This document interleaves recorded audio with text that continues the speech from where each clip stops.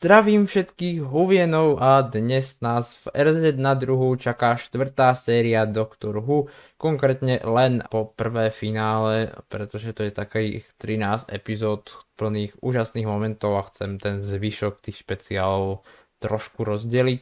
Skrátka, séria je plná úžasných momentov komédie, akcie a ešte lepších postav a dobrodružstiev. To je tak, keď je Donna Noble s doktorom. Takto práve pri písaní tohto scenáru som si uvedomil, ako ťažké je rozprávať o niečom, čo je veľmi blízko k dokonalosti, tak by som aspoň mohol povedať epizódy, ktoré naozaj doporučujem pozrieť v tejto sérii. Tými epizódami sú Partners in Crime, Fires in Pompeii, Planet of the Ooh, The Sontaran Stratagem, The Poison Sky, The Doctor's Daughter, The Unicorn and the Wasp, Silence in the Library, Forest of the Dead, Midnight, Turn Left, The Stolen Earth a Journey's End. Áno, sú to všetky epizódy, ak by ste to nepochopili. V tejto sérii sa nachádzajú hrozne desivé epizódy ako Midnight, hrozne zábavné epizódy ako Partners in Crime či The Unicorn and the Wasp. Niečo ako vody v epizódáku je Turn Left. Máte tam možnosť pozrieť sa na to, ako by to vyzeralo, keby sa pri jednom banálnom a primitívnom rozhodnutí človek vybral tou inou cestou potom je tu Fires of Pompeii, ktorej hrá cast ďalších šiestich sérií, alebo iné epizódy, ktoré sú plné kamejí alebo predstavujú postavu, ktorá bude ešte absolútne OP a je asi najoriginálnejšia postava v histórii sci-fi, tu hovorím samozrejme o Silence in the Library a Forest of the Dead. No a finále s úplne klasickým záporákom, ktorý doslova definoval, čo je to Doctor Who pre staršie generácie. A vracia sa odmrznutý s novým poslaním, Skrátka na túto sériu vám nedokáže povedať ani jedno jediné krivé slovo. Toto je skrátka séria, v ktorej seriálu Doktor Who podľa mňa prepadnete úplne na dobro a Moffat vás potom už nedokáže pustiť.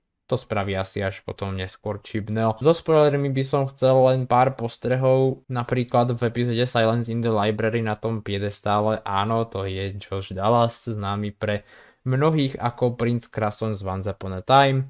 You can't hide from me!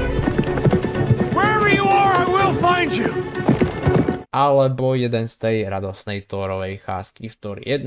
This isn't like a journey to Earth, where you summon a little lightning and thunder and the mortals worship you as a god. This is Jotunheim. Možno by ste si mysleli, že by ma vyviedlo z miery cameo Rose, čo bolo v takmer každej epizóde, ale prekvapivo to tu so mnou nikdy nič neurobilo, asi preto, že Rose každý ignoruje. Tak eh, teraz tá väčšia zábava.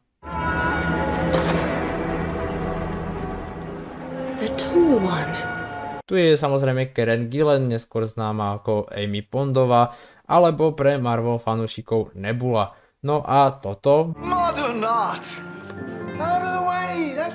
je zase môj budúci a najobľúbenejší doktor. Peťko Kapaldy, iný proste to nemôže byť, že áno.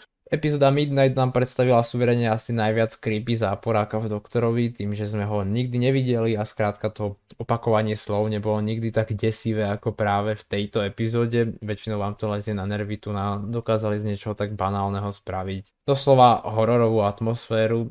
V knižnici spoznávame River Song na konci jej cesty, to je skrátka za mňa geniálny ťah tých, čo ju píšu, pretože Nepoznám postavu v sci-fi histórie, ktorú spoznávate, keď už ona pozná budúcnosť a vy vôbec a skrátka vôbec netušíte, čo si prežila. Nedokážete vnímať celý jej časový posun, pretože ju spoznávate na konci a postupne sa dopracovávate v podstate na začiatok. Skrátka River, River Songová je proste postava, ktorú asi miluje každý fanúšik doktora. Ďalšia vec, ktorú na tejto sérii milujem je epizóda s Agatou Christy, ktorá je niečo, čo ma donutilo smiať takmer v kuse. Krátka tá epizóda má časť do seba, fakt je to...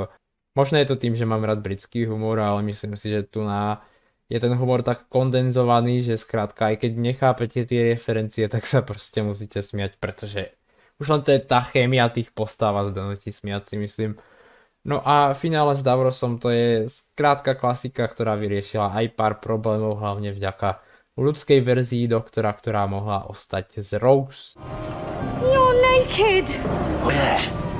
Ešte by som sa tu mohol rozprávať nad všetkými tými humornými epizódami, ale skrátka neurobím to, lebo už aj tak mám pocit, že sa tu len opakujem ako taká gramofónová platňa, lebo je ťažké obkecať niečo, čo je suverene naozaj uh, dokonalé Takže uh, sa môžete pozrieť uh, dole do popisu videa, kde nájdete odkaz na Epicov Discord server. No a na budúce nás čaká druhá séria Sarah Jane Adventures. No a to by bolo uh, odo mňa pre dnešok všetko. A prajem vám ešte príjemný zvyšok dňa a majte sa.